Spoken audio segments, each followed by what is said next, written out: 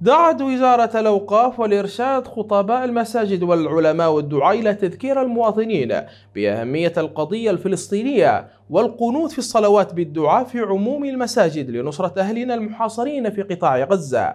ونوه التعميم الصادر عن مكتب وزير الأوقاف والإرشاد الشيخ محمد شبيبة. التذكير في خطب الجمعة ووسائل الإرشاد الأخرى بقضية المسلمين وقبلتهم الأولى. كما أكد التعميم على حق الشعب الفلسطيني في الدفاع المشروع عن النفس والأرض والوقوف في وجه العدوان الصهيوني والتصدي لإرهابه وجرائمه والحث على الدعاء في الصلوات وخارجها لإخواننا الفلسطينيين.